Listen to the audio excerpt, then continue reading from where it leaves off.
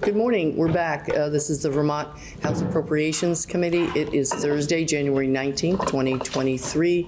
It is a little bit after 10, and we uh, have um, to ourselves the RAND report and those that put it together for us to hear. We, we heard in the joint committee yesterday, and now they're um, made themselves available to all the committees that wanted to hear from them uh, directly so that we can ask some questions on that. So I would have, if you have either up on your screen or the uh, report, and uh, we'll hear, and then we'll ask some questions. But first, we'll introduce ourselves because you didn't get to meet us formally. So uh, I will start. I'm Representative Diane Lanpher. I live in Vergennes, and I represent Addison 3. Hi, good morning, welcome. I'm Robin Scheu, and I'm from Middlebury. I'm Pat Brennan. I'm from Colchester. And to Lily, I'm from Burlington. Tristan Toleno from Bradford. Kari Dolan from Waitsfield. Lynn Dickinson, I represent St. Albans Town. Trevor Squirrell representing Underhill and Jericho. Woody Page, Newport. Jim Harrison, I represent the town of Chittenden and a few others nearby. Rebecca Holcomb from Sharon, Stratford, Norwich, and Thetford. Great to meet you. And then we have Aaron as our committee assistant. We have our JFO members, um, Maria, Nolan, and I'm sure uh, others. So please introduce yourself for the record and your team, sir. Sure. Uh, my name is Christopher Doss. I'm a policy researcher at the RAND Corporation. Um, joined via Zoom by Lynn Karoly, who's a senior economist at RAND, and Aaron Strong, who's a senior economist at RAND. Um, no, Lynn and Aaron, did you want to say hi? Just for the record, Aaron Strong. And uh, for the record, Lynn Karoly. And uh, just a personal shout out to family in Thetford, Stratford, and Norwich. There's zero degrees of separation. I dated somebody from Rutland at one point. We're covered. When you're ready, sir, please. Uh, did you want me to, I'm not sure how this, did you want me to answer questions or did you want me to do? To- Well, we heard your presentation yesterday. If you, you might want to spark our mind a little bit because we, will we jump all over the place in subjects and get us dialed back in. Sure, I'll give you the 30,000 foot overview Yeah. of what we did. And, and so um, what we tried to do um, is, is answer two charges from Act 45. The first was to say, what would the cost of a high quality pre-kindergarten system that's available to everybody who wants to take advantage of it cost? Um, and then part two said, given how much money that we have in the system, how much money that we have that it's going to cost, what is the, the amount of funds that we need to make up with the public, with public funds, where, what are some possibilities that could be used as sources of revenue for those funds, um, and then given that, what is going to be the effect on the overall Vermont economy? And so what I presented yesterday was um, how we built that, that cost estimate of what a full ECE system would look like in Vermont. Um, what we did was we looked at all the inputs to what the research points as a high quality early childhood education system. Um, we costed out those resources. Uh, we then looked at all the different revenue streams that are currently providing funds into the ECE system in Vermont. We subtracted that out. Um, and then we created uh, six scenarios where you subsidize people um, of various income and we estimated how much money they would contribute to their to the system under those various subsidy those subsidy schedules. Um, and then we simply took our total cost, subtracted out the money that's already in the system, subtracted out the money that we would anticipate people would would uh, contribute based on the different subsidy systems, and that left, left, left us the gap.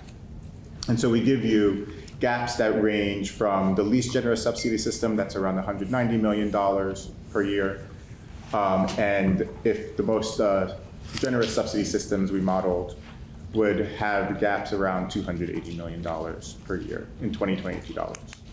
Um, we then put those numbers and said, how can we, you know, how could you possibly find sources of revenue for those those gaps? And so um, we modeled about six options, about six different taxes for you. Happy to go through any of those options that you um, would like. Um, we found in general that um, effects on, on economic well-being would be about would be small.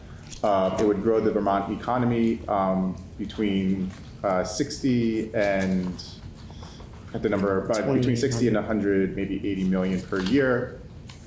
Um, and that you'd have increasing in um, sales and tax revenue from about 1.5 to 18 million per year. Um, and then we estimate that about 600 to 2,800 people would enter the workforce um, due to to the subsidies, depending on the situations that we modeled. Representative Harrison has a question, then Representative Scheu. Can I ask a couple? Of course. Okay. You have the floor, sir. So looking through the report or the summary, there's a figure in there of 645 million, uh, I think. Yes. And that was what was first flashed up on one of the news media. Gosh, that's, that is a really big number. Large number. Um, And, but then, as I'm reading it, it sounded like that's the total cost, but we're already paying for some of that. So help me out as to how do you figure out what we're paying? Is this what um, parents might be paying, is that included like what parents pay? And then you subtract that out? uh, Or help, help me understand that big number, and then how do you get down to, you know, the two hundred, you know, one hundred and eighty to two hundred and eighty million dollar?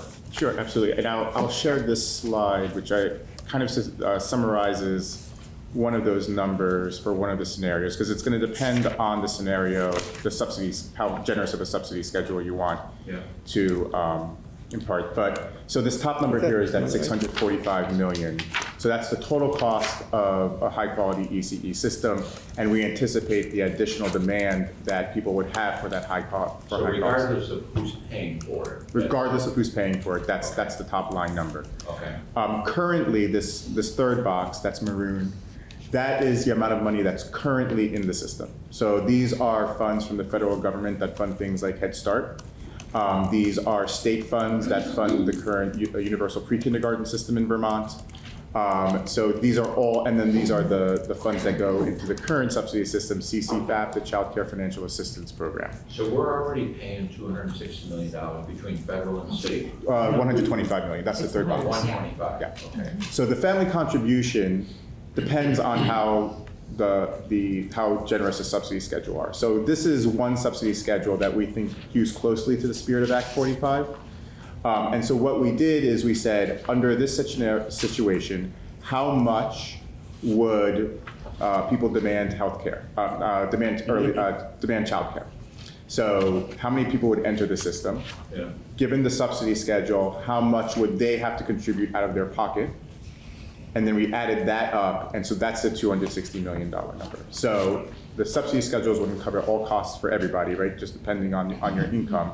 So we anticipate that under this schedule, $260 million would come from families. And so if you take that, subtract it from 645, oh, sorry, go I'm a little slow. Um, Yeah. So the one twenty-five would be, say, approximately one-third if you towards the higher end of what the new number would be?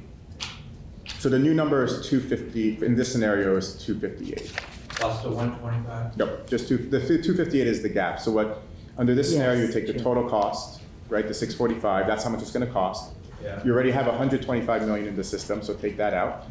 Families are gonna contribute two Okay, I'm sixty. not taking it out, so that's, that's why we're disagreeing on the numbers. Right, so the goal here is 125 is, Stays. Yes. One twenty-five stays, it's not, Right. it's just not. sure, going sorry, over. yes, yes, yes, the hundred twenty-five stays in the system. When I take it out, I mean, if you wanna calculate what's left over that we have to fund additionally. Yeah, Okay. The existing public subsidy, state or federal, is about one-third of the new subsidy, state or federal. Half. Sure, yeah, Just an- Yeah, another way. I get- I get what you're that's saying. Just Yes, the way my head sure, works. absolutely. Okay. Um, The number of new employees that you project are, is how much? uh, depending on the situation, between six hundred and twenty-eight hundred. Six hundred? to 20, 2,800, depending on the, the more generous subsidy schedules we'll have more people enter the labor force. Okay, and how many new employees are going to be needed in childcare sector? That's a, that's a good question. Lynn, do you have an estimate of, of that? I do not, we did not generate that, that number. It's possible to do so, um, but we did not um, generate that estimate. I mean, we know there's a shortage right now. Sure. I mean, people don't get in, and and obviously, hopefully, one of the goals of this is to make sure we have enough childcare slots through staffing. Um, And I'm, I'm just trying to understand if, pick a number, let's say we, we were gonna create, or bring two thousand people back to the workforce that can't make it work today, right? Um, And if we need fifteen hundred in the childcare industry, we're gaining a net of five hundred for other employers, right? Whether that's government, whether it's private or commercial. So it kind of begs the question, what's the cost of those five hundred net gain? The cost, uh, oh, if you want to take all the costs and, and go into the net gain? I mean, we all want a bigger workforce. Yes. And, but everything has got to be balanced between cost and benefit. Sure. Um, And I'm just, So the, so way, I guess the way we I'm kind trying of. to zero. Yeah, so the way, the way we kind of look at it, when we try to model the, the whole economy, right, which I think is also what you're trying to keep in mind, um, is we say, how many net entrants are gonna, gonna happen, right? And so, you know, maybe 28, 2,000 people are gonna enter the workforce, right? Some of them may go into ECE. If you pay ECE workers higher wages, that might draw somebody from another part of the, the sector into it, right? But on the balance, about, about 2,000, let's say, given your scenario, is gonna enter the workforce. The way we look at it from kind of a, a really high level was like, now that you have more workers, what benefit, how will that grow the Vermont economy as a mm-hmm. whole? And that, that's what we modeled, that the gross state product would have, you know, on the short end, maybe 59 million, maybe on the high end, over 200 million. And so that's kind of how we look at it, instead of trying to parcel out movements from one sector to another and then look at those costs. That's not quite how economists look at it. So that might be, make more sense to you as a representative. Yeah, and- and, and I'll. It's a different lens. It's a, it's a lens Right. depending Yeah. No, no, on, you know, the, the good news is that there's positive. And and finally, and I'll, I'll shut up. Um, So you had a chart in there about current wages. And Yes. I think childcare was like just under fifteen dollars an hour. Yes. I can bring that chart up for you. Give me one second. Um, Page nine of your remarks. Page nine of, oh yeah, wages, yeah, here we go. What, what I wanted. I mean, Go ahead, it was- please. Oh, no, yeah, no, that's not right. There's no That's a different- question Oh, okay. Page eight. that we would have a shortage based on those wages today. I mean, even McDonald's has signs up seventeen dollars an hour or more. I mean, that whole service sector is really being squeezed. And it's not just the service sector, you get into healthcare, it's squeezed in, in different areas. So I, I get it, um, you know, we need to be competitive. Does your proposal, when you talk about the total cost, does it include bringing those average wages up and to what? Yeah, so that's a great question. And so this is the current um, hourly wage for childcare workers, right, which is, which is pretty, pretty low, like you said. And, Yeah. and pre-COVID, that creates pressures in the system. And then once COVID happened, right, that created even more instability in the- in the system. So we do model increases in wages. Um, And if you bear with me, I can get you to that. And so these become the new increases in wages that we model. So we assume increases in credentials as well, so that lead teachers would have a bachelor's mm-hmm. degree and associate degrees, but those would be the medium wages, and those are more comparable, with, let's say, a kindergarten teacher. Okay, and so you say it assumes a twenty-six percent fringe benefit, Sixteen. are those embedded in those? Lead teachers, in those salaries? Those are the, the cash salaries, but in the model, we embed, embed a twenty-six On percent top for, of that. yes. Okay. And what do you, what do we have currently for average benefit level? It depends very, it varies a lot, and, but so but there are some that provide none, and there are some that provide some, so it's kind of hard to say what the average, I don't Come up with know. an? Lynn, do we have an average statistic? It's, it's pretty low if there is any. Yeah. There, there may be something from national data, but I'm not aware of anything that Vermont has collected that would tell you that. It's, it's not in the same government data that allows us to look at cash compensation does not collect data on um, non-wage benefits.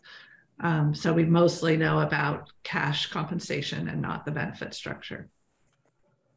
Okay, but I would think you would, to come up with a total number, you would need to have a. So idea. that's correct. And so Yeah. that's the twenty-six percent fringe rate models a series of um, benefits that in, that we talk about in the report, things like um, 30, 30 days off for personal vacation, um, or, uh, you know, uh, retirement plans, um, health insurance, dental, paid both by the employee and the employer. Okay, thank you. I'll, I'll be quiet for now. No, it's good. Okay, Good. Uh, Representative Scheu. Thanks, and I'll follow up with some similar questions. Uh, So following on that same slide that you just had up, No, the lead teacher at 69,420, that does not include the fringe benefits, is what I'm hearing you say. Is that correct? So you have to add 26%. that's And right. if I look at elementary school teachers, their mean is 63,000, so you're, this is $6,000 more. Uh, the, these are in twenty twenty-two dollars. Uh, Lynn, do you, is that correct? Yeah, a couple points. One is that um, in showing current wage data, just because that comes out with a lag, that's in 2019 dollars. Um, in terms of these compensation levels, because we're modeling costs in 2022 dollars, there is that difference. But I think the other important difference is that we're assuming these teachers in early care and education settings are working full time year round. And so this is what they'd earn annually. The teacher salaries are typically based on an academic year. Um, so there's that difference in the number of hours represented in an annual salary um, Okay. is covered. That helps me. So this is really a fully loaded compensation package that you put in your model with 30 days of CTO and dental and vision and all of those things that are being offered. That's the fully loaded, top of the line. It's, it is Wow. what it is, I- the, the way we read Act 45 is that you wanted com- compensation, which includes cash and benefits, that's Yeah. commensurate to other people with the same credentials and mm-hmm. experience. Yeah. And, and so that would be comparable for, let's say, Okay. like a kindergarten teacher would have the same Right. types of. So I want to, I want to just be sure everybody understands that that's what you have done. Yes. And you have put this, have you graduated these numbers over four years? You said you had sort of a four-year on-ramp. So, so in your modeling, they don't start off with a lead teacher at 69,000 plus benefits. Do they, they start off lower and you gradually work up? Or what did you do So what there? we modeled is just one situation, and you can obviously look at different situations, is we didn't model the um, a, a phase-in of parts of the system. What we did is we modeled a phase-in of the, of the gap, that, that amount. Okay. I think one way you can kind of think about that is you would maybe perhaps subsidize the lower end of the income distribution first in this fully funded ECE program. Yeah, Um, and then as, you know, you, as you phase it in more, people up the income ladder until Uh-huh. get more into subsidy. You could phase it in perhaps with those types of things as well, but that's, those types of details are kind of implementation details that we, we thought you'd be best to Okay. think through. okay. And I want to go back to your uh, math with the 645 million and the, um, I want to ask you about the 125 million that's existing public funding. What is the split currently between federal and state of that 125 million? Yeah, so that's a great question, um, and I'll again share a slide where we kind of show that. So, um, early Head Start, and these are in 2018, 19 dollars. So the, the, the one trick here is that um, these numbers add up to about 109 million because those are 2019 dollars. We inflate that to 125 million dollars because when we look at the Right. gap, we want everything. So it's going to be slightly, slightly lower. But early Head Start and Head Start, which are fu- federally funded, are about 22.3 million per year. Um, The Universal Pre-K program, which is state funded, is about 41 million per year. Um, And then CCFAP is both federal and state. And Lynn, do you know, I don't know if we know the ratio of federal to state within CCFAP? We don't have that breakdown. Um, And so that's, that's a combination. mix, And then yeah. the, the federal and state child uh, tax credits are, um, are lower, but they're about seven and, and one, and then there's the Title I mules. So Title I is federal, Title I is, is federal. okay, and the child tax credit, does that, in- that's the child care tax credit? So that Yes. doesn't include the child tax credit that we passed last year? Correct. It's not related, okay. So we have, so of the 125, we have at least 43 million plus whatever share of CCFAP. And we don't know what our share of CCFAP is. Correct. So we have about a third of what's in there. Sort of. I, I, I wouldn't be able to. If you're trying to guess. dissect the 125. Yeah, I'm trying to figure yeah. out of the 125, the state's already putting in money. I'm trying to get a sense of the entire state picture. Yeah, so if you look at big picture. uh, all the federal minus CC you're, you're looking at maybe around thirty to thirty-five million dollars per year. Well, pre-K is 41. That's state. That's what I mean. Oh, sorry, yeah. I I'm was- looking for what state is. Oh, state would be, so It Says around forty-one. 43 plus whatever CCFAP. Exactly. I'm sorry, forty-one. I, I think it'll actually come out closer to 50/50 I or maybe. think, a I think little you're right. more. Yeah. About For the 50% state. state Of that one. Yeah. of the 125. Good, thank you. Okay, thank you. I'm done for now. Thank you. All Madam right, Chair. great. Anyone else?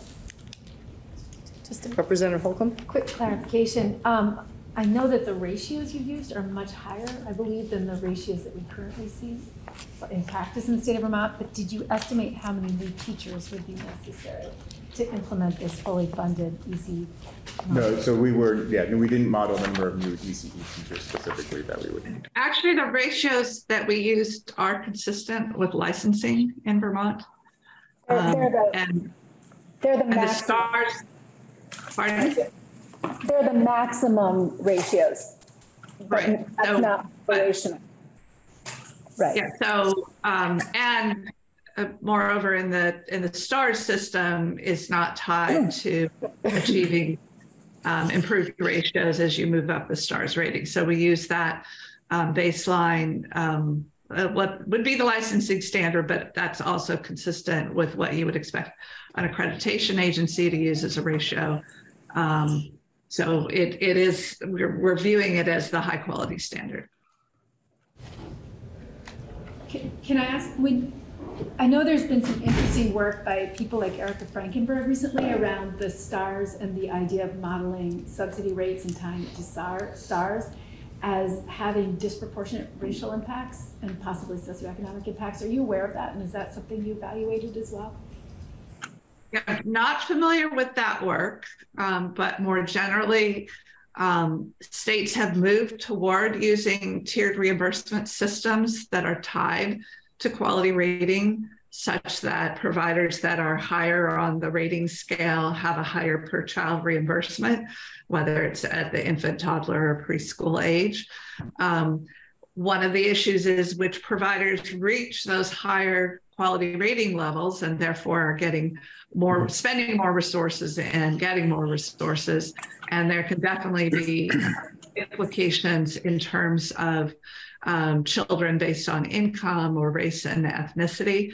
Um, one of the things we did um, report on in um, some analysis we did of the state subsidy data was to look at whether children um, uh, receiving CCFAP subsidies were any different in the quality ratings of the providers where they were being served compared to children who um, um, to the overall um, ratings. And generally, we weren't seeing that um, there was a difference as you moved up the income level within CCFAP. Um, but we don't know where that necessarily where the children are beyond CCFAP at the higher income levels in, in terms of how they how they compare.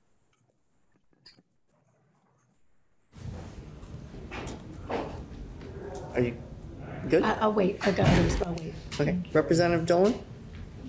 Yes, thank you. Thank you for this report. It's, uh, I'm still trying to get through it, so I appreciate I it. understand. Uh, just a couple of general questions, if I, if I may.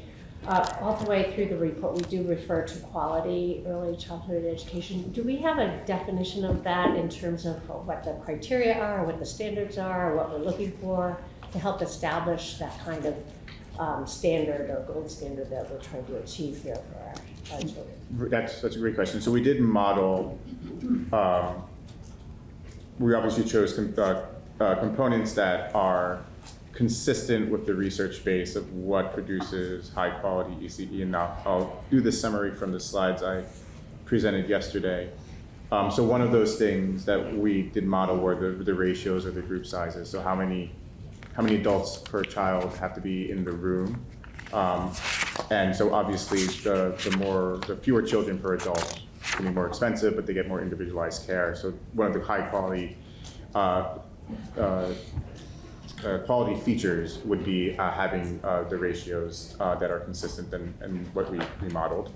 Um, another kind of cost driver is the teacher education. So we modeled having teachers having bachelor's and associate's degrees. We do this for, for a number of reasons. First, there are already a number of pre-K providers that require that, for example, Head Start. Um, if you look at the, uh, youth, the universal pre-kindergarten programs that are being instituted across the country, they also require it. And the theory behind this is that um, bachelor's degrees, and, here we're specifically talking about ones in early childhood development and education. You know, the, the, a lot of the benefits that you get from early childhood, early childhood education is helping the child learn, right? There's a lot of development in the child's brain that happens before five, um, but you have to be, you structure your, instruct, your instruction in ways to capitalize that and promote that, that, that benefit.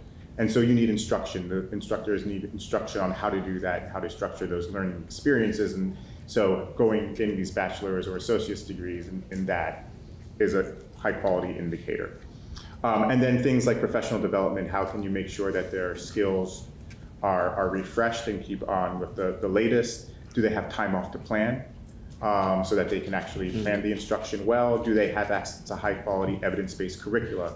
Do they use developmental screeners so they understand what the level the child is so that they can tailor their instruction to where the child is? Um, same thing with formative assessments. Screeners also help you figure out if the child has special needs or is behind typically developing peers. Um, and then finally, for the STAR system, do you have independent assessors of qualities um, looking at that, that whole bundle? So that's kind of how we envisioned what a high quality early childhood education system would look like, and that's what we costed out. Thank you.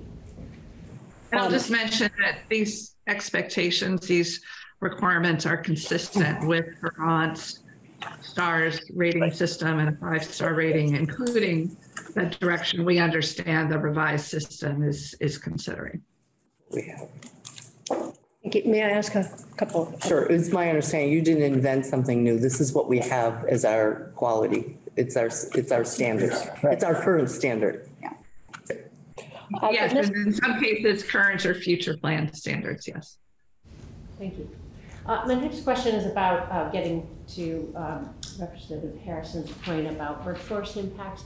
We are already at a deficit of not having uh, adequate workforce, and you can look at the number of open vacancies or or the actual demand for childhood, um, early childhood education, and it's substantial, it's in the thousands. Uh, And so what we're suggesting here in this report, the, the, the models and the um, outcomes are to include both, um, to fill our current gap as well as how to achieve, uh, future, um, quality of education, to, to uh, raise the, the opportunity for, um, for our workforce. Is it, are we trying to accomplish both things, today's gap as well as, um, So is some of the this, other challenges we're facing? this would be the, yeah, this would be the cost kind of, I guess assuming that we have the teachers and everything that we need, right? So probably this is not something that you can do tomorrow, right? You need to phase this in. And part of why you need to phase this in is that you have to build the workforce needed for this high quality ECE system. So things that are not included in this may be required are things like upskilling the current workforce, helping them achieve that bachelor's, um, building the capacity of universities and higher education institutions of Vermont to provide degree credentials that teach them the skills to provide the bachelor's and the associate's degrees. Um, so this is kind of seen an investment in the overall um, Vermont economy. So this is probably not something that you know you can you can pass tomorrow and expect to happen in the next year. But in, over a few years, this is something that uh, with deliberate and intensive um, investment you can, you can build. And then my, my final question is in regards to um, the benefits cliff. It's something you mentioned at the end of your presentation yesterday. um, um, And obviously, there's an interest to try to mitigate that benefits cliff. Do, you- have you uh, helped to identify how we could potentially mitigate that? So the, the benefits right now, um, as we modeled, every one of our scenarios provides benefits up to 500 times the poverty level. And to just give you a sense of what that, that means, so a family of three, that's $115,150 a year in 2022 dollars. For a family of five, that's 162,350. So that, under our current schedule, they would be subsidized in some way un- until that. Ab- Above 500,000, uh, above uh, 500%, then you would, would be no, no subsidy. Um, to kind of give you a sense of what that is, the average Vermont household income is about $89,000. Um, the middle third of the U.S. households uh, with children under 18 is between 60 and 130,000. So we're talking about you know a good a good chunk of it. Another way to think about it is that um, if you look at the 500% threshold that we modeled, that's going to cover 80% of children under five in Vermont. So they would get some sort of of, uh, of subsidy. Um, if you maintain the current system that does 3.5% of poverty, or 3.5 times poverty, um, that is covers about 60% of children un, under five in Vermont. So the, the higher ones cover a substantial, the vast majority of children in Vermont, but there will always be some people at the other higher end of income who will not be subsidized.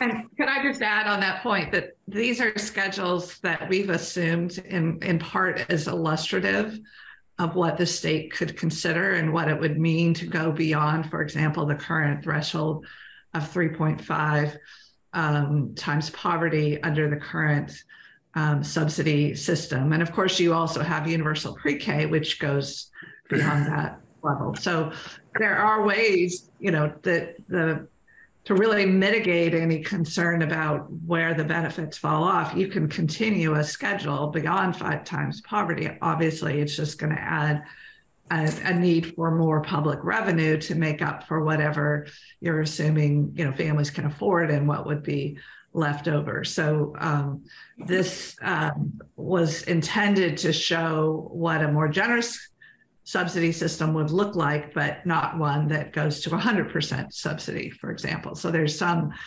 um, potential to go beyond even what we um, model in this report. Um, but that's where the decisions are, you know, in terms of which um, families, how high would income go before um, the subsidy system would, would taper off or would end. And then within any given family income level, what's the expectation of what families can afford to pay? Um, and so we've assumed, we've shown you schedules that, you know, in some cases it maxes at 10%, in other cases at lower incomes it might be 4% or 6%.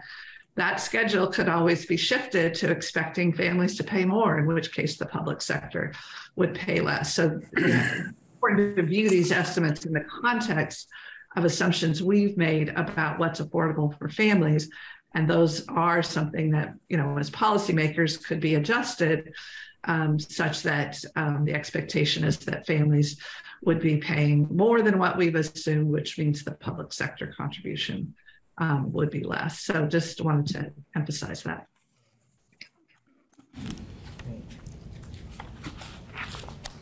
Representative Dolan, are you? Yes. Great, so here's the line, we've got Representative Harrison, Representative Scheu, myself, Representative Brumley, Representative Holcombe, Representative Page, and Representative Dickinson. Just, just, good. I think uh, it's Jim. Representative Harrison, sorry. So, a a couple things. First off, clarification of the current public 125 million. You said approximately that is half of state and half federal. I was a little confused. Does that include universal pre-K? Yes, Yeah. It does. yeah. Chart, It's on page um, yeah. nine of the presentation. So, in, in the other part of that, that we provide, um, I will be the first to admit we probably nibbled around the edges because, you we've tried to put a little bit more dollars in, a couple million here, a couple million there, as budgets have allowed. Um, so this is obviously much bolder.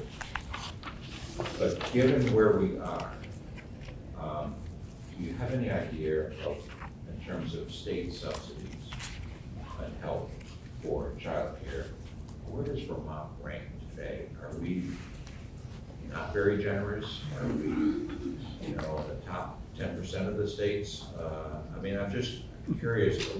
We, we, we try to do it as best we can, but we're a small state. Um, so there are limits. So I'm just curious as to, um, you know, where we are today. That's a- Have you looked at that? It's a great question. You, I, I'm not going to hazard a guess as to Yeah. percentages, but Vermont is actually on the more generous side. Um, so below 1.5 or below requires no contributions.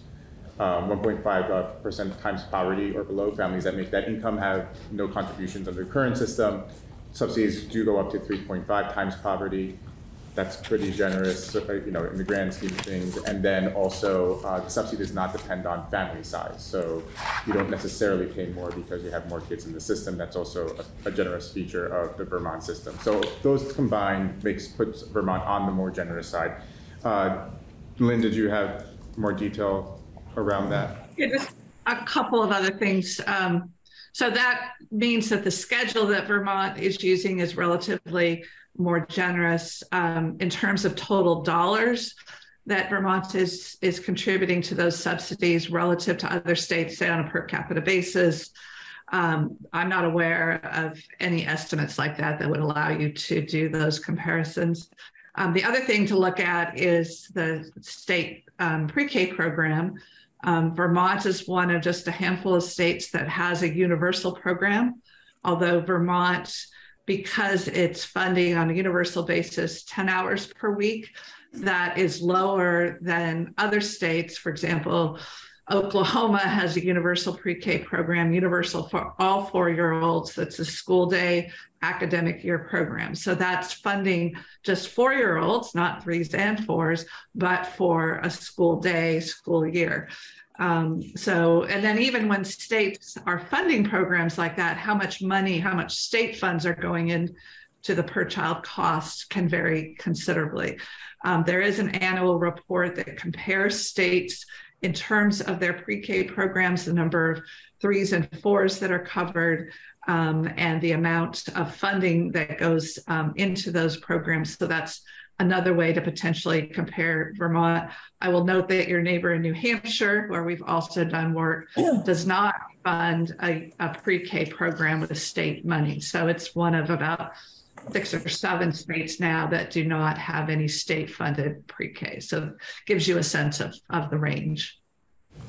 Okay, and the other um, question I had, you, you came up with a, have an estimate, maybe 2,000 more people would, and I'm exact, uh, estimating here because I know there's a, there's a range. Um, If you have a, a, two parents and one's making 60,000 a year, and they look at today's environment, it's not worth it for the other spouse to work, and they stay home, and there's other reasons as well. So let's just say the other spouse has an opportunity to go into the market as well, and they are gonna make sixty thousand. Um, and so now you've got a combined income of hundred and twenty thousand. And if we limit it to ten percent, um, they're not gonna pay more than twelve thousand.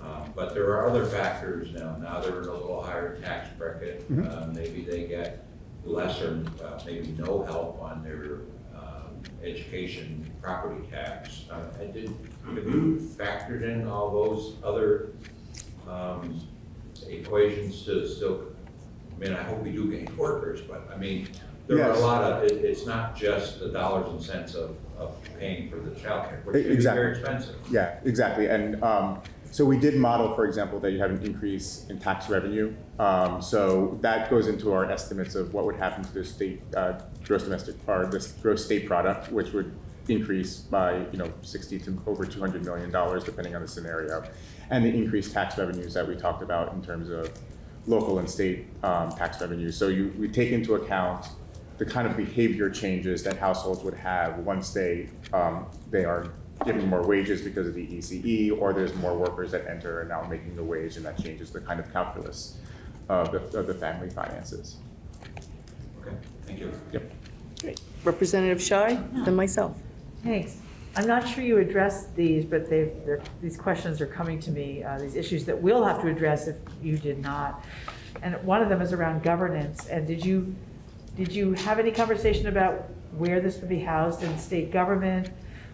What kind of additional staff would be needed and the cost of that, or any of that, is, is any of that factored into this? That's not factored into this because we saw that kind of as an implementation where we read Act 45 as kind of the, what needs to be, what, what would be the Right. required and not necessarily implemented. Though I do understand that Building Bright Futures commissioned the governance study prior to ours. Um, and I think that report has some recommendations. So we also kind of saw that effort, um, and said that's probably not something we need to do. Okay, I just, it's somewhere, and, yeah. Yeah, if I could just clarify, we do build in assumptions about administrative costs for the system. We did not expressly try to, you know, price from the bottom up, say either the new governance system that has been proposed or the existing governance system. Um. But there, we have made assumptions around um, having, you know, some core funding in there that recognizes there would be administrative costs. So we didn't try to figure out whether the revised governance would somehow be more efficient than the, the current system. Okay, so that's not in the 258 million, basically. It Right, so we- to the extent that we've assumed a baseline of administrative costs really consistent with the current system, rather than trying to factor in any changes in administrative costs because of uh, a shift in governance. And if we want to read more about that governance piece, we should find the Building Bright Futures report? Is that what you're saying? Yeah. Okay, we'll find that. Yeah, they came out last July or somewhere around last Yes. July, if I'm not mistaken. Okay, thank you. Great, thank you. I, I just have one point that I just want to make sure that I'm understanding deeply, which I think I do, but you, that you're here, the state of Vermont has, we were talking earlier today, you know, that we're trying to address a lot of crises that in response to Vermonters' everyday life and their, and what we've heard for many, many years is the, the um, conundrum around childcare, lack of childcare, low pay. How do we step in and start this in a new way? So, so our goal or problem that we're trying to solve is the crisis on childcare. And there, and its solution will hopefully have positive benefits within the greater economic world. But our goal is to not try to provide economic growth in the world through providing childcare. I just want to make sure that we- we're trying to solve the childcare problem, which to this point does not have any negative effect in any other area, but may have an incredible lift in those areas as well. You can't measure that, can you? Well, I would say that the charge of Act 45 was a high-quality ECE system. System. So when, when I, when, when I think people like us hear something like that, it's beyond, it's childcare in the sense that you are educating the child, even at a very young age, from zero to five, in ways that support their development intellectually and emotionally, right? Um, so it's, Yeah. it's beyond having an even nurturing adult in the room. It's about how does that adult interact with, in ways that support child development. And so that's the kind of system that we, that we priced out. So I was trying to get to the very simple question of like, I own a business, and if I help with childcare, will, will I benefit from it, meaning in some way? And I would So- imagine, yes. Yeah, so we looked at it in aggregate. Um, and yes, there are some other benefits that we did not cost out, such as perhaps uh, women or, or the family would work longer because now they have more stable childcare, or they'd have to, or they're there and there's less distractions because the childcare emergencies are fewer. Those types of things are not necessarily in the report. There's a lot of anecdotal evidence that that happens, and that could potentially also be. Because I hear from, me just personally too, from employers as well as families, and we all know that there's a boondoggle that we're trying to unwind. All right, thank you. Uh, Representative Blumley. And then Yes. Representative. Thanks very much. Um, And I heard something yesterday uh, in your testimony that um, indicated that you've done a lot of report, you've done similar reports Mhm. for other states Mhm. or maybe municipal, I don't know, um, but other entities. Right. Um, And other people have done this, other organizations have done this too. And a lot of what's in a report like this are, I mean, there are assumptions that are made, right, about, um, and so you're modeling things. And I'm just wondering what you've learned through your own experience uh, as RAND um, and through understanding the literature in the field. Kind of, It's like, how accurate have those assumptions been? Um, Uh, well, so Lynn has been actually the leader of many of those studies, and so I'll, I'll, I'll let her, she has the best vantage point for, for that type of question. Um, well, first of all, just acknowledge that indeed these kinds of analyses do involve assumptions. Um, everything from you know what um, do what constitutes quality um, and the relationship between quality and and children's um, development, school readiness, and subsequent success in school, um, to assumptions about what incomes families have um, and um, you know how they're going to respond in terms of the labor market based upon changes in childcare subsidies. Um, we do draw on, I think, um, the strongest literature is around um, identifying what constitutes quality in early care and education, um, what those features are, and what they cost. So I think there's a lot of confidence around those numbers. Um, one of the areas that um, we note, and even in the report and an appendix, you know, the one of the weakest areas is our understanding of how families respond to changes in childcare prices. Um, so, what might happen, for example, in their response around labor force participation, and that's one of the reasons we give you a range of estimates there. Um, so, in at an estimate you know, that says 600 workers to several thousand, that it reflects the fact that there's uncertainty in our estimates of um, the responsiveness of um, parents, either um, you know the major earner in the family or the secondary earner, in terms of whether they would choose to work or not, based on a reduction in the cost uh, that they face for for childcare. So that's an area where there's more uncertainty, and so we give you that that range, recognizing that you know there it could be at that lower bound all the way to that that upper bound. Um, likewise, um, I think in terms of uh, the way that the system would work in terms of subsidies, those are things that states have experience with um, the ability to administer those subsidies. Um, we have systems, you know, already in place. The kind of modifications that might be required, that's quite well known. So I think in terms of, you know, is this a feasible system that one could um, implement? we have more confidence there because these are systems that build on what exists already, either in Vermont or in other parts um, of the country. Um, I, I, could turn it over to um, our colleague Aaron just to talk a little bit about the larger, what we call study two in the economic forecast. Um, but there again, you know, we're building on decades of work in that area. So maybe, um, Aaron, if you want to just say a few words about you know the, the level of confidence in the assumptions and modeling that we have there i think that would be helpful for people to hear sure so uh, the models that we're, we're using um, we use two different models to, to think about sort of the macroeconomic impacts of macroeconomic and sort of state revenue impacts. The first is what's known as an input output model.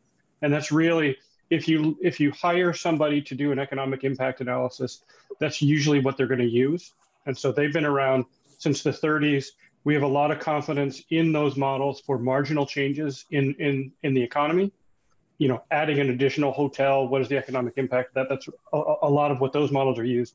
We've also built up a, a, a more complex model that allows for, for greater substitution. Um, and those models have been around, you know, 40, 50 years and have just gotten better because of computing power. Um, it's, it's, we, we have really good confidence in these if the uh, if the underlying assumptions or sort of the inputs to them are correct. And sort of that's the other that's the big piece. The other way that we sort of validated our results was we worked with the JFO sort of our initial results on how much revenue would be generated by this tax or that tax. We worked with the, the JFO to say, you know, are our estimates in line with what they would have estimated given a different set of data? And they were in sort of a, a, a rough order of magnitude. You know, is it 84? Is it 86? Those to me are, are roughly the same number. So, so we've done that validation step to say, to, to use different data to say, do we get the same results out? Thank you. You're welcome. Representative Holcombe, then Representative Page, Representative Dickinson, Representative Toleno, and then we'll, we're done. We have a, our next witness coming in at 11:30. You get a moment to stretch. Go ahead. So I, I understand the focus of the report Um, on demand side subsidies. That's what you were asked to do. And I also understand that it's something familiar from an implementation perspective. But in my own experience, sometimes when you move from a targeted program that's reactive to an identified need to a system at scale, keeping the same model can have unanticipated consequences. So for example, when we rolled out the universal pre-K vouchers, we added significantly to the resources available for pre-K, but we lost 7% of the childcare capacity in the state in the same window.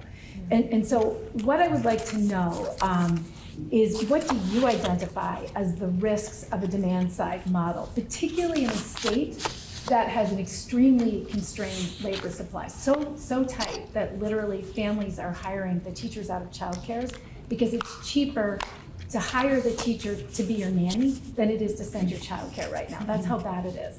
And um, what are those potential risks of demand side subsidies and what is being done in other places, particularly places that are trying to move to the scale that we're contemplating around other ways to provide resources to support this sector? I've read interesting things about contracting um, directly with providers, for example. What are other things that we should be asking as custodians of the state's precious wallet to try to make sure that we're getting the most value for the dollars for the families and the children that need them? Lynn, did you want to?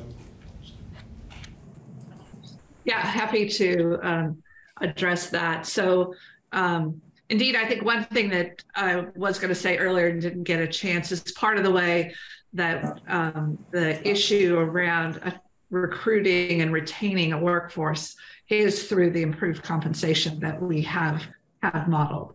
Um, so one of the challenges now is that compensation is so low that the alternatives, whether it's working at Walmart or being a nanny, look attractive to our, you know, the skilled qualified workforce that you have rather than working in, say, a center-based setting. Um, and so with the kinds of um, increases in compensation, both cash compensation and benefits, I think that that is um, a strategy, certainly, that most other states are investing in as a way to address the workforce challenge. Now, how do you enforce, for example, a compensation schedule like we proposed? Well, one solution is through the use of contracts. Um, so I'm glad that you mentioned that. Um, and it's something that we make a reference to as well, which is how do you bring about some of these changes in the way in which you want the workforce to be compensated and the way providers are reimbursed um, to recognize um, that you want any increase in reimbursement to be directed toward the workforce and their compensation, not to buying other inputs into producing um, childcare. So um, we make some references to that being a strategy. Be happy to provide you with others. There are good examples, I think, of where those strategies are being used um, to sort of change the way we think about um, the set of providers, how they um, relate to the both the public and private sectors, and supporting a mixed delivery. so even Vermont, in instituting universal pre-K, has tried to do that by allowing qualified private providers to participate mm-hmm. In that funding stream. And so, um, to the extent that that's not being successful, looking for strategies that provide for better integration of both public schools and private providers delivering the pre-K program, whatever it looks like. Um, you know, those are things as well to pay attention to. And I think where you can learn from other states and localities in terms of what they're doing. Good. Representative Page. Uh, Yes, uh, just a couple of questions. Um, When you discussed wages earlier, um, those standardized wages, uh, will they be the same throughout the state, or will there be different uh, rates in different areas of the state? So we modeled in that average wage, and then underlying that average is a distribution. Some would be paid less, and some would be paid more, and, and often that's tied to cost of living. So you would expect perhaps in the more rural parts of the state, where cost of living might be less, those wages might be a little bit less. In more urban parts of the state, those wages would be more. So we kind of assumed that the market conditions would would have some in, impact, but when we cost it out, we say all of that variation is going to become those averages, and that's what we showed you. So there is some variation.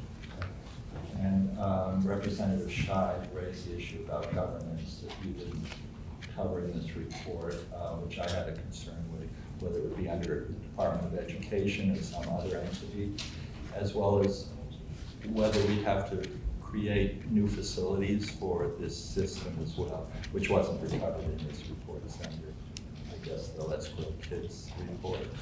Right, we didn't look at the, whether you, you would have, need more facilities. If there's a higher care, you probably would need more facilities. There's different ways you can go about that. Um, one thing that came up in, in a past committee meeting is there's been declining school enrollment, and so some schools have empty spaces, and so for um, a modest investment of retrofitting those, those can become um, early child care facilities. So you kind of have to look at the total facility use in the state and see where there maybe is some places where you can kind of reallocate them in addition to potentially building more.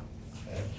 And then finally, I, I, I heard uh, on the way in to work this morning and, and last evening that there's a report on Vermont's educational uh, testing scores that uh, the trend has gone down over the last few years, and I guess it's actually um, throughout the country, uh, those trends have gone down. With such a program that, that you're suggesting put forward, in other states where there is such a program, what effect has it had on, um, you know, changing, um, you know, our testing standards? Sure.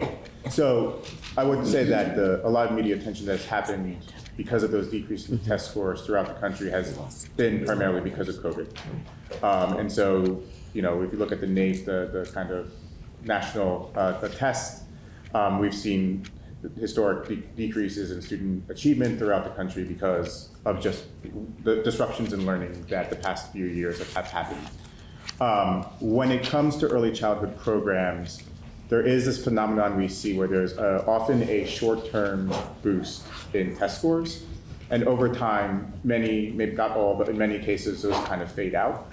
But then we also see longer term, even after those test scores have fade out, that you have longer term favorable outcomes, like longer, they stay in school longer achieve more education, um, and you, you um, get pay, better paying jobs in the future. So um, I would say that there's this kind of fade out test score that the, the, uh, the field is trying to grapple with. Why does that happen?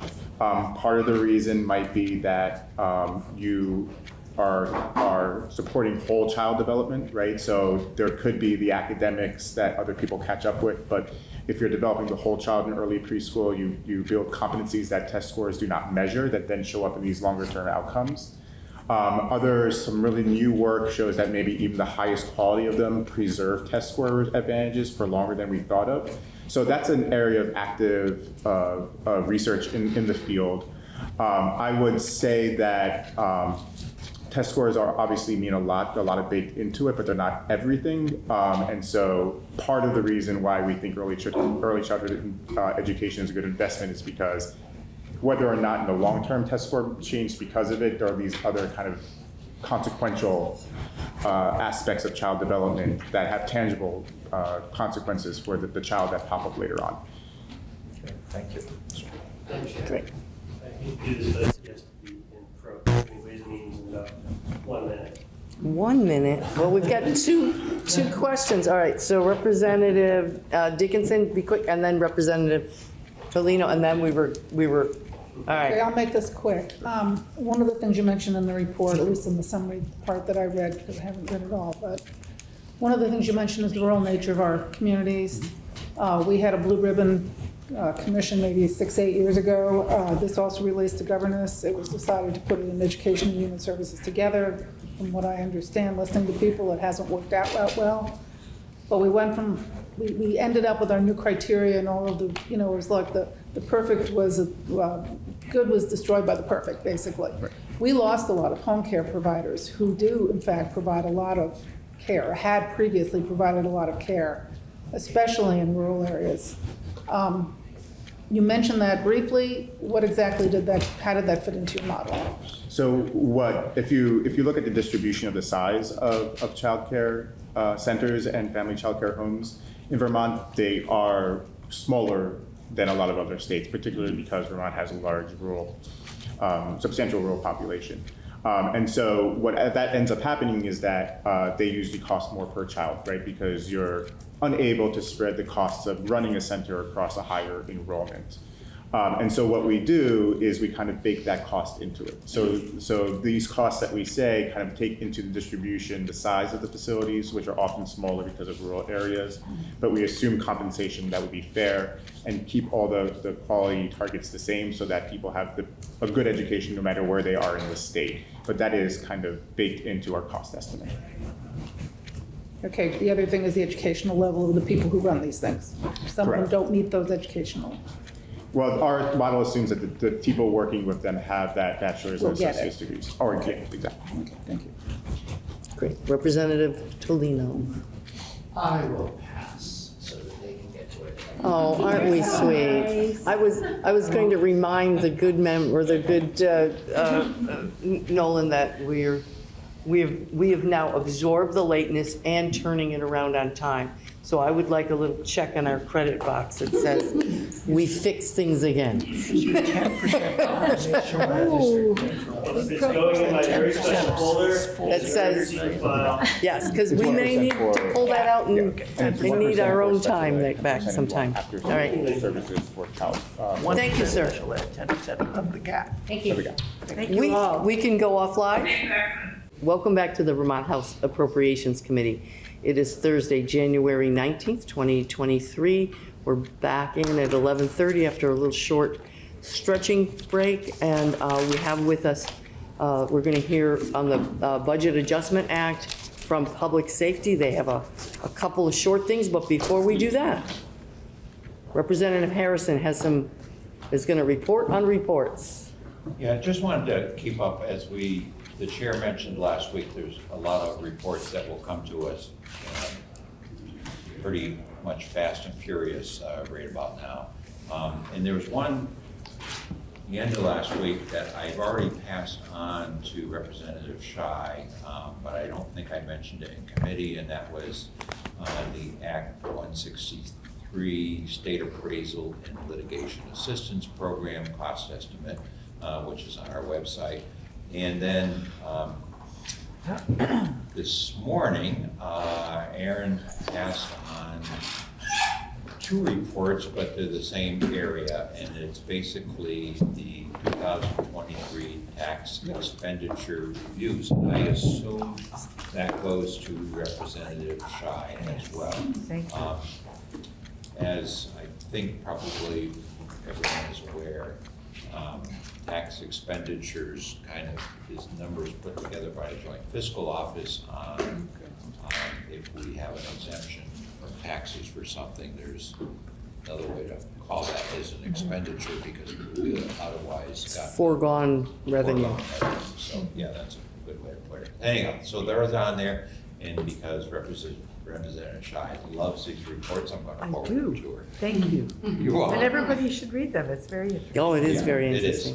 Interesting. Is that it, sir? That's Great. We, we have the benefit of having two I- I members who, hope that's it. who Aaron, thank you. had their teeth cutting in, in Ways and Means before they arrived here, so they're, they're very familiar with that. So, um, I just, Commissioner, Deputy Commissioner, Commissioner. Commissioner, thank you. Yes, ma'am. Good morning. Good morning. So you haven't met all of us yet? No, ma'am, I have not. I know Representative Brennan from way, way back. Uh, and I know. Uh, we won't ask about that. Why, why don't we introduce ourselves? All right? And then, and then you can introduce yourself and your team, and then we'll hear what you have to say about budget adjustments. So um, I'll start. I'm representative of Diane Lanpher, live in Vergennes, and I represent Addison 3. All right, we'll go. Robin's here. Okay.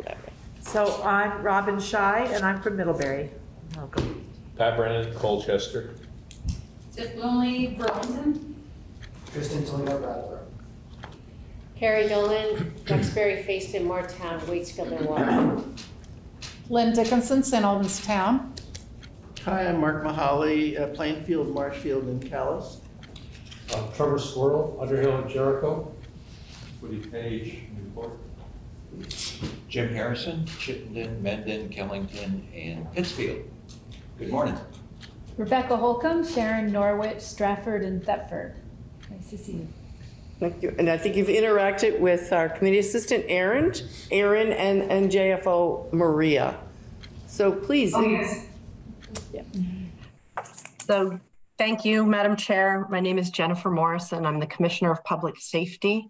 Uh, and I don't need a whole team when I have my Director of Finance, uh, Rick Hallenbeck with me. So we are a dynamic duo today. If you, if there's information that you need that we don't have, we have people on standby on the call screen for what should be a relatively straightforward uh, discussion.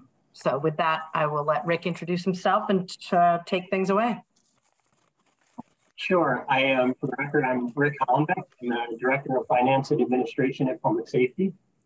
And uh, Madam Chair, if, uh, you, I'll go through these two lines on the budget adjustment form. Great, and I see we have someone else, who- oh, that's not with you, he's with the administration, but he's with us all. Hi, Josh. Okay, go ahead, walk us through your changes. Top line, the large number, uh, $3.3 million up caused the new uh, Vermont Troopers Association collective bargaining agreement.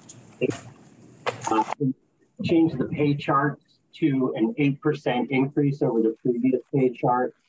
So this represents the salary and all those related items that are based off of uh, the sal- salary or hourly rate, such as overtime, um, the standby pay, and also the shift differential rates were increased in both the VTA contract and the uh, the state's uh, bargaining agreement uh, with civilians, the supervisory, the non-med.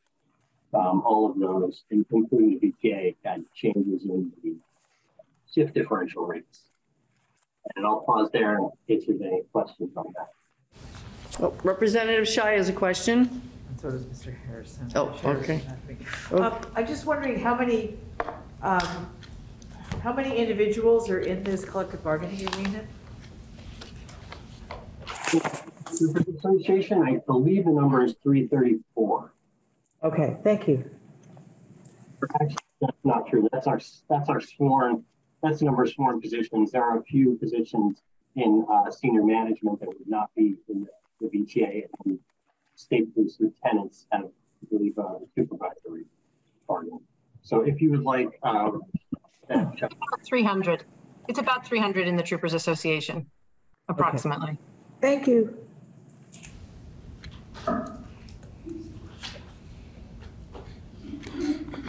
Representative Harrison, if you, Yeah, um, thank you, Rick. Um, but you mentioned the, the adjustment here for the Pay Act was about eight percent of your total uh, appropriation for state police. Is that what I'm understanding? But eight percent of the total appro- appropriation. It's the pay chart that shows their hourly rates. So say you're on a particular step and you have a particular hourly rate, the new pay chart represents exactly an eight percent increase over that previous rate for. If, if I could just interrupt you, we're, we're getting a little uh, garbling on the voice. For the 300? Um, if, if it's something with your microphone or, or It's what, um, Yeah. so, um, just be cognizant of that or pass the baton to the commissioner. Um, so I was led to believe, or my understanding was that when we did the pay act in last year's budget, the troopers contract was not, uh, settled. So I thought human resources kind of put an estimate in there, um, because obviously we couldn't keep extending the session. And, um, so I, I don't know what they ended up putting in there, but I thought they were looking at whatever the state employees was, and then if that was four percent, they put that in, and then, um, whatever was resolved, which was more, uh, we had to put the difference in, but do you, do you recall that in terms of what was actually allocated for troopers, or should we get that from DHR? Yeah, I don't have that figure representative. If you could, I could uh, be happy to reach out to DHR and get that if you, if you'd like. Well, I'm just, I'm just trying to understand what, what pay rate change was made for the troopers with the contract? Was it eight percent? In FY twenty-three, it is eight percent. In FY twenty-four, it will be two percent from there. Okay, and did it include the uh, one-time payment that uh, I think was in the VSA, VSEA contract as well? No, I, it's, it doesn't have the one-time payment the way the civilian contracts do. Okay. Okay, thank you. Sure. I feel like Representative Harrison, I know this is your budget, and you've got, it se- feels like you've got some questions that you're, you're gonna no, go we'll- search. We'll, we'll, we'll get that information from Okay. DHR. Um, So, yeah. I didn't get the number that they actually put in there for an estimate as part of the total. Yeah, so you're trying to tie up that there was money that there, there was already Yeah.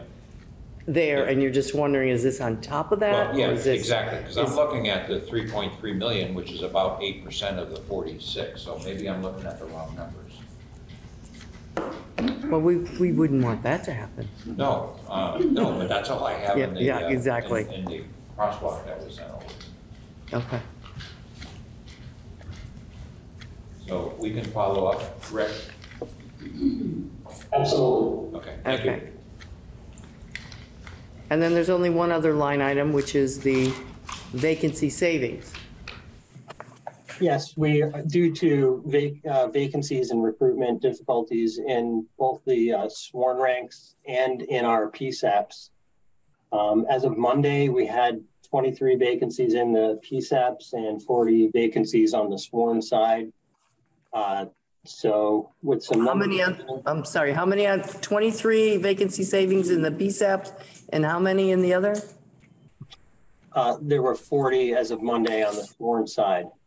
48? 40 on the Forty. one side? Four zero. Sorry if my microphone isn't, isn't cooperating. All right, can you repeat that? Four zero. Four zero. On, for, on what side of the? Twenty-three was on what? I got 20 PSAP, but what was the 44? What is that? Troopers. Sworn troopers. Sworn officers. Thank you. So we have, so we have 40 vacancies in the troopers, and right now, out of a force of 300. Three So it- thirty, three thirty. 330, okay. The other number. It's, a- it seems, it's, it's high, I'm sorry, you know, I know you know that. It's like- Um, it was fifty as on Sunday, and then we started a class of ten troopers i- in pre-basic training on Monday. Now, of note, They won't all That's make it. 40 vacancies, but they're all still in one position number until they finish the academy. So if you were to check HR numbers, you'd still think we have 49 vacancies, right, Okay. as of Monday. But in terms of who we're paying, we have 40 vacancies. And we're not 100% sure all of them will make it through training, right? That's correct. But we're rooting for them. Of course we are. And we're earnestly recruiting for the next class. I shouldn't be. So the 23 vacancies in the PSAPs, help us to understand um, how many total? So what is it? 66. 66 total positions in the two PSAPs in Westminster and Williston. Those are the public safety answering points, which are 911 uh, uh, call taking seats, but also dispatching for all of, you know, police, fire, and EMS. Um, so of 66 positions, we currently have 23 uh, vacancies. So the impact on the workload, on the number that's left is enormous. It's terrible, and it's a lot of long, you know, forced overtime. Uh, the more, the more higher a vacancy rate you carry, the more, you- the quicker you lose people because they can't get any time off, and you know, Right. it's that It's a cycle. spiral. Yep. Um, Yes. Because you don't have a lot more other than these two lines, correct? Correct. Right? So can you, can you take a moment to tell us about what, um, what's out there for the recruiting for this? Sure. Um, on the civilian side of the house, we obviously follow the general uh, human resources uh, protocols and advertise the positions. A lot of the positions seem to get filled by word of mouth, that which makes it even more incumbent upon us to create a decent work-life balance for our existing employees. Um, and we, we have a very high turnover rate. Retention is very hard in the PSAPs, and that is one of one of one of many drivers of our push, our significant push to make regional dispatch come to fruition. We currently dispatch for approximately 100 agencies out of those two PSAPs, and the complexity of work is too high. And we hear that consistently in our exit interviews with employees who are leaving. Um, and then, as I mentioned already, when we get low on staff, people get forced into overtime shifts. They don't have a lot of control over their schedule, and it causes people to say this is not for them, and I and and I, I get it. Um, so on the recruiting front, on the PSAP side, we we we sell those vacancies the same as we do for any other vacancy other than troopers. Um, for sworn personnel, we have engaged in several new initiatives, marketing campaigns. Uh, we've received some consulting input.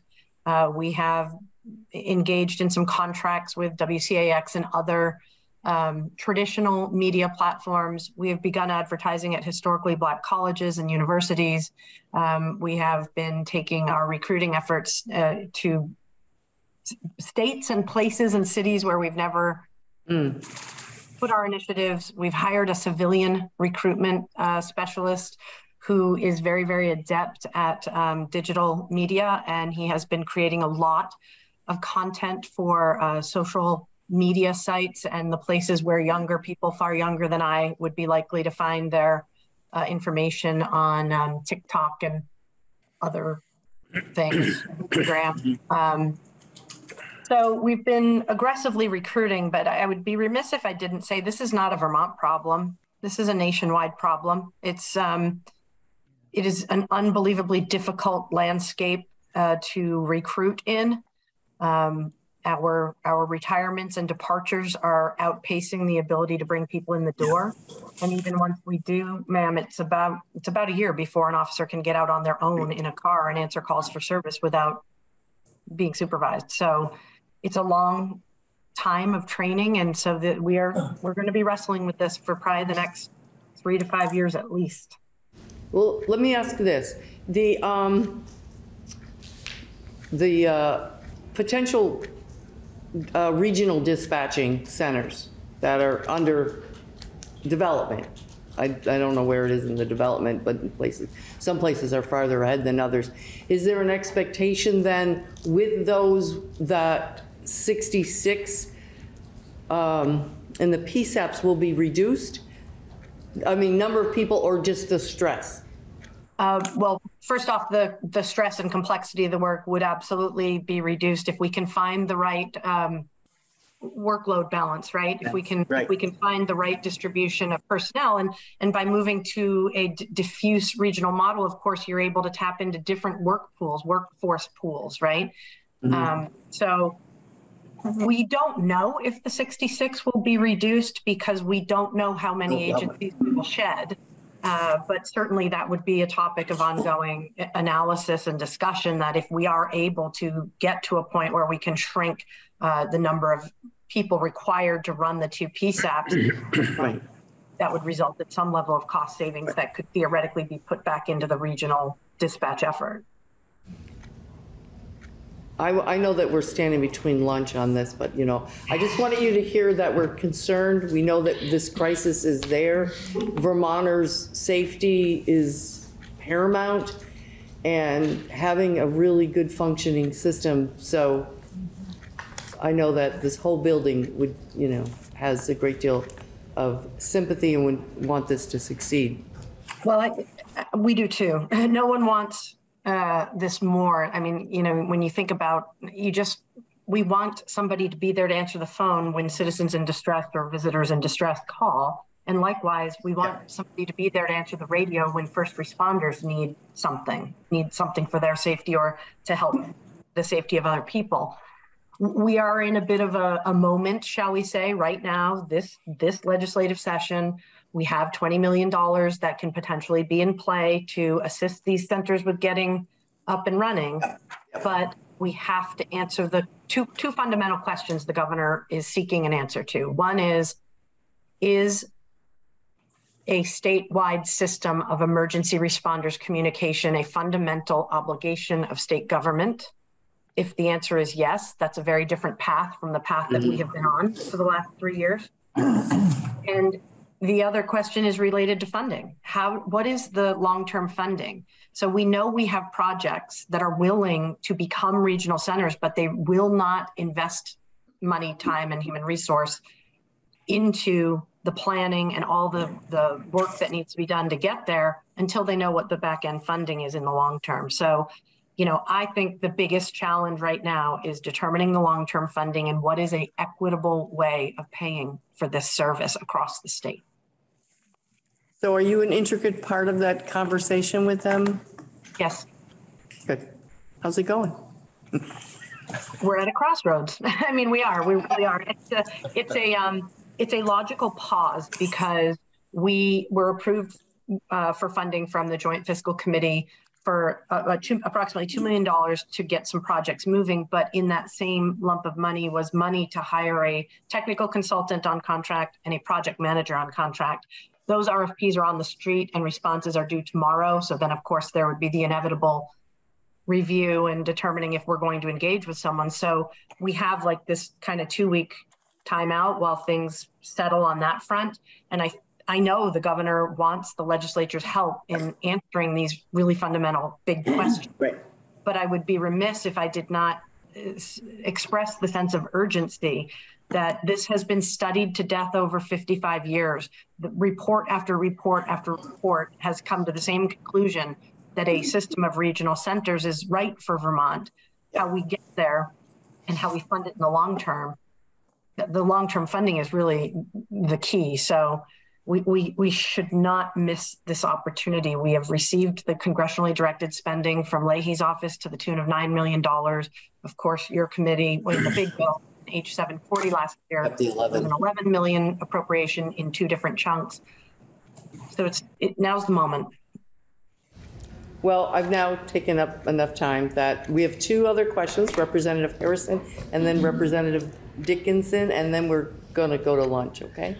Yeah, and Commissioner, I certainly do want, want to be the guilty one of uh, delaying lunch, because that's very important to me and others, but, um, you know, as you know, last year, we set up a study group of the various stakeholders. And I don't know how, I wasn't involved with that, so I, I, I'm probably mischaracterizing it, but it sounded like it was sort of like a meltdown of of that process because there's no recommendations. Uh, And um, we can talk further, but um, we, kind of need, I guess, a little bit uh, more buy-in from all the various groups to, to get somewhere, wherever that somewhere is. So um, any comment on that stakeholder group? I don't know if you were involved with it or or some of your people were.